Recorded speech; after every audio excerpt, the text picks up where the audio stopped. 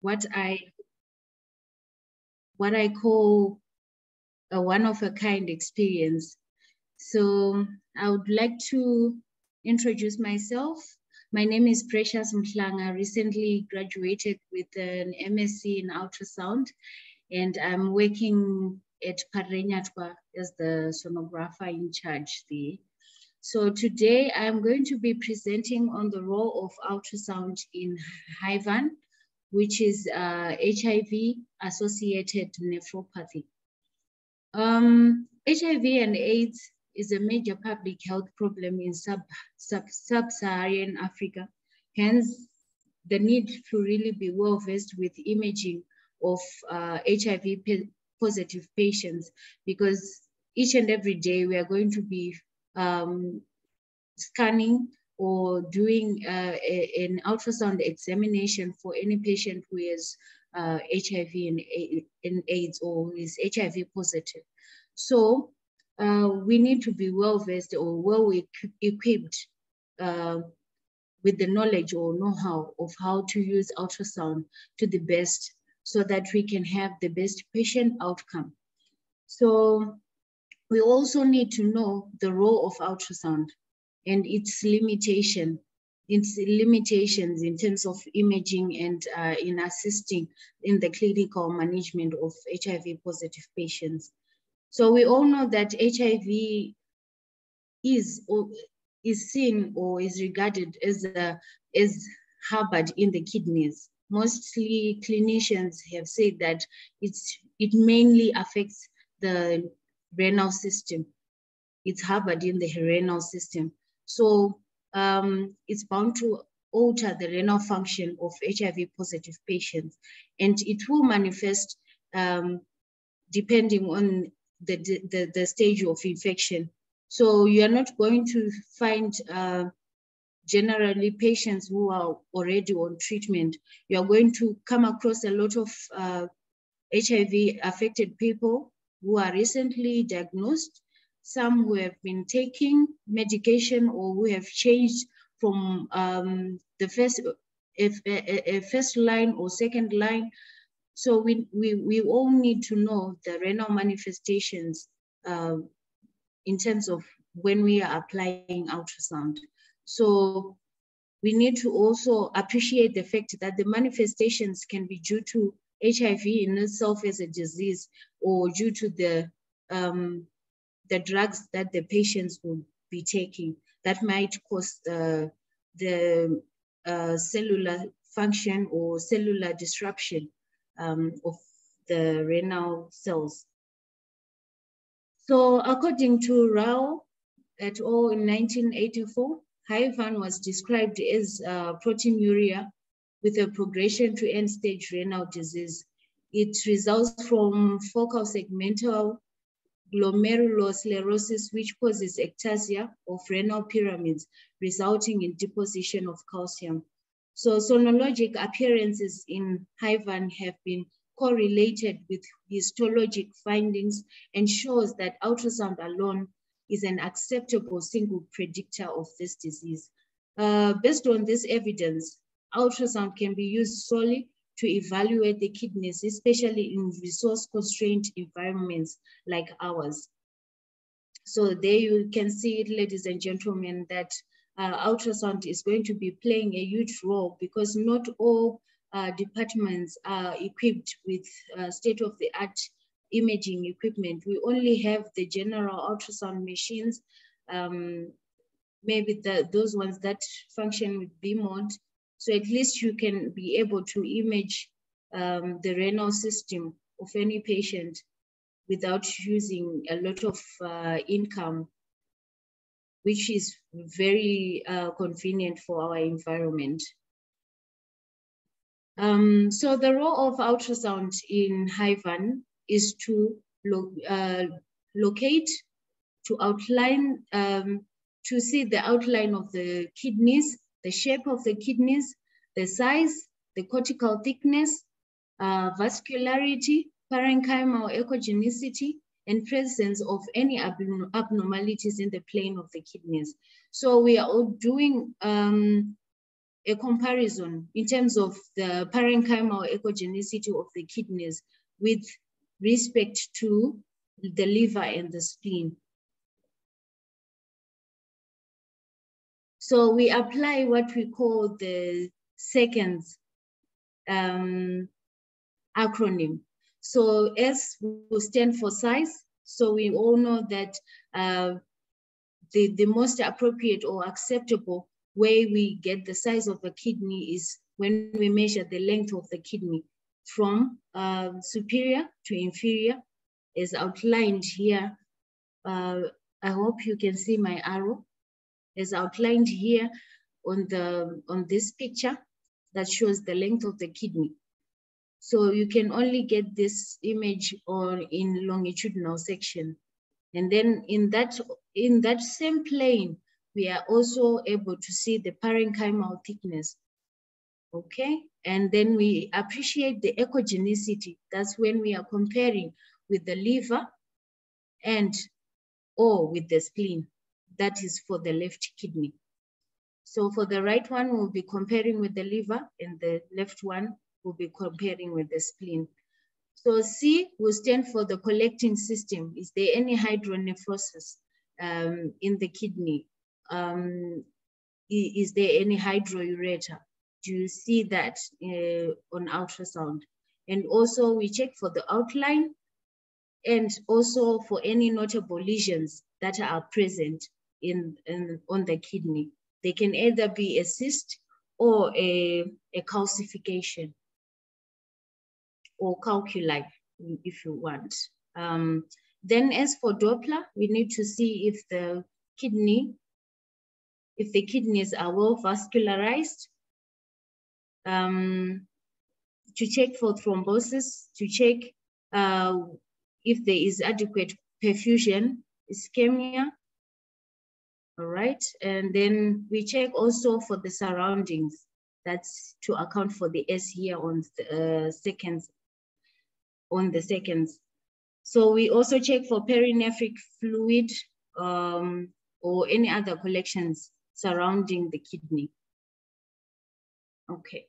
So in, um, in HIV associated nephropathy, we are highly likely to find um, nephromegaly, that is um, an enlarged kidney. And we are also going to see increased renal cortical echogenicity um, and with or no poor corticomedullary differentiation.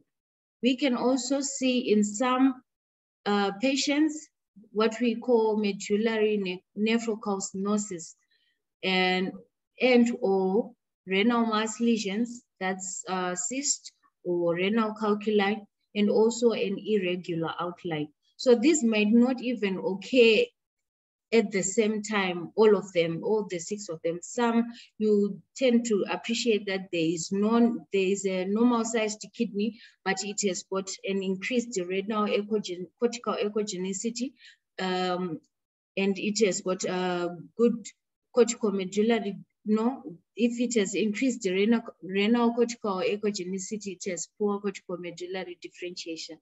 And also, you might not even see a renal mass or a cortical cyst or renal calculi. So it might present as, um, as independently or altogether. All the findings, they will uh, exist at the same time.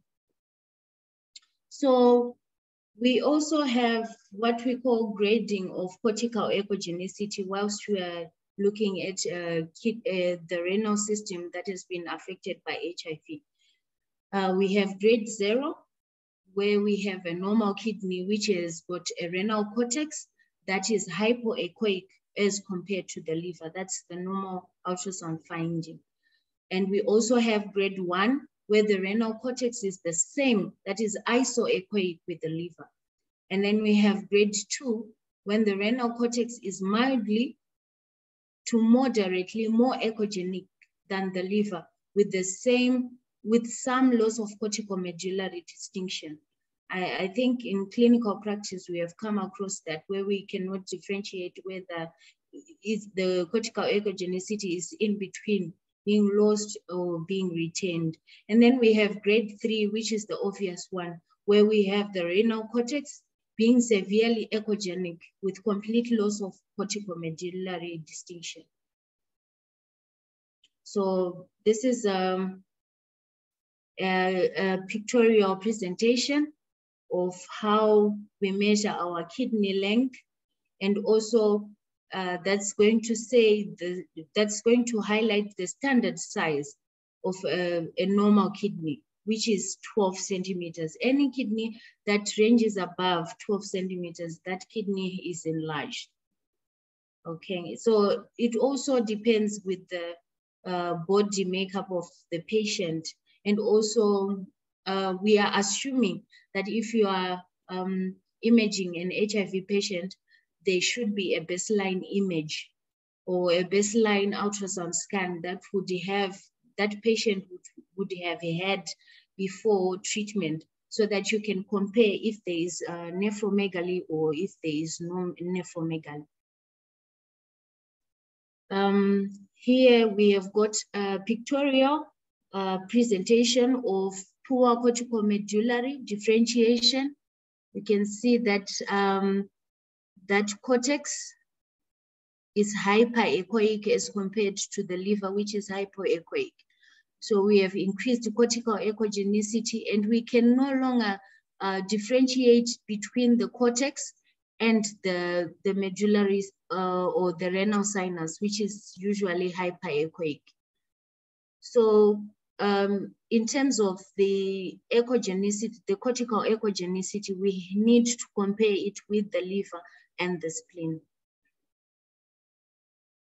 All right, so we also have uh, instances where when imaging an HIV patient, we can find uh, lesions like cyst, intramedullary cysts, or we can have calcifications. So we need also to highlight on them so that the clinicians will know the extent of renal damage and the extent of renal disease, that the, um, the extent of the nephropathy um, that's being associated with HIV. So this one, as you can see, most of most of the times uh, in my experience, I've had difficulties when imaging patients with HIV uh, because the, the images tend to be very poor, but uh, sometimes we have to compromise for, for diagnosis. It's better we get the diagnostic picture than the quality. As long we, as we have uh, what will what will help the clinicians to manage the patient, that's better. So we can see and appreciate that this kidney has got an irregular outline.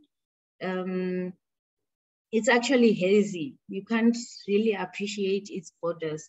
So you come across those, um, those challenges when imaging patients. So I would like to share with you a case, a special case that has driven me to do this presentation. Um, I met an HIV positive 27 year old male who had a history of defaulting highly active uh, antiretroviral treatment and presented in the ultrasound department with a KUB request form complaining of hematuria, persistent urge to urinate, and constitutional symptoms like loss of weight, fatigue, malaise. Um, so on the imaging part, um, the ultrasound showed that he had normal sized kidneys, but he had hyperechoic medullary pyramids instead of anechoic or hypoechoic. And also the, the kidney had uh, posterior acoustic enhancement and significant cortical thinning. So I'm going to show you, to share uh, the images that I got. Uh, like, I, uh, like I highlighted, um, bear with me, the images are of poor quality, but I would want to emphasize the point that the diagnostic value of the image is what matters most as long as it's giving the picture of what exactly is going on. So here you can actually appreciate that the size of the kidney was normal. It was 104, um, 104.84 millimeters. And we had this cortical thinning, significant cortical thinning here. But you can actually appreciate that the cortex was not hyperechoic, it was actually hypoechoic, but a bit in, in comparison with the liver, it wasn't um, as hyper, it wasn't hypoechoic as the as we would want it to be in a normal circumstance. It was iso, almost isoechoic to the liver. Um, I also noted a, a, a renal cyst um, here. And also there was a lot of, um, you can see this uh, uh, deposits in the, in the renal pyramids. These areas are supposed to be hypoechoic or anechoic in a normal kidney, but here they are hyperechoic as much as the renal sinus is. And you can actually see the borders of the cortex extending into the medullary, uh, into the uh, renal sinus. So, um, like I said, there's cortical thinning here. Um, on the left, it was six millimeters, where in a normal kidney, cortical thin, thickness will be around 20 millimeters. Um, on the right, it was 7.6, which was very significant cortical thinning. So on doing um, research, I got to note that this was a presentation of medullary nephrocalcinosis. So it also presents in people who are HIV positive and in fact, in pe people who have defaulted. So if a patient has defaulted on their HIV medication, that means their immune system is compromised and it's prone to any attack. So it starts either it starts to attack itself, its body cells, or um, the, the it, it, it's no longer able to fight for itself from infections. So um, it's also called the medullary nephrocalcinosis is also called medullary sponge disease. Um, sorry, medullary sponge kidney. And it's also as a result of structural abnormality of the collecting tubules. We are assuming that this uh, abnormality is being caused by the um, compromised immune system. So the tubules will become ectatic.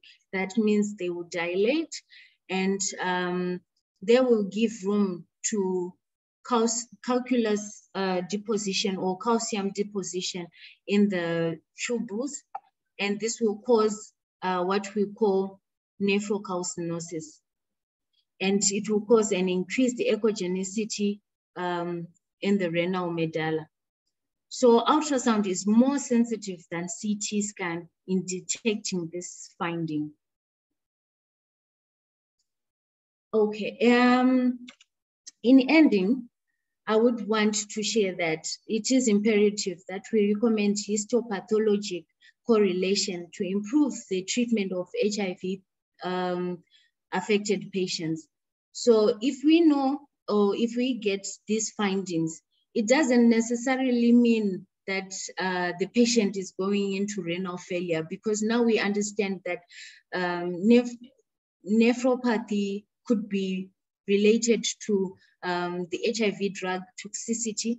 So we now need the histopathology to confirm our diagnosis that this kidney is really diseased or this kidney is already in failure.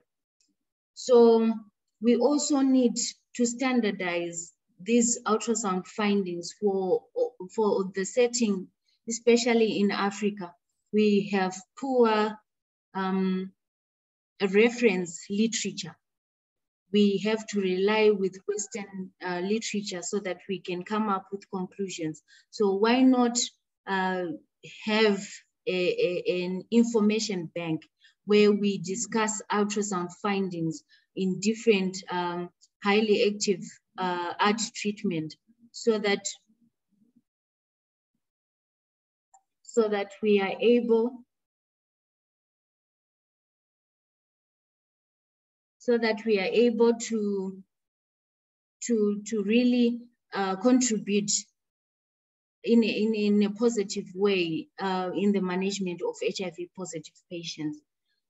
Um, we also need to have that uh, information bank to see um, even in any other organs, not only for the ren renal uh, system, we were talking about the hepatic system.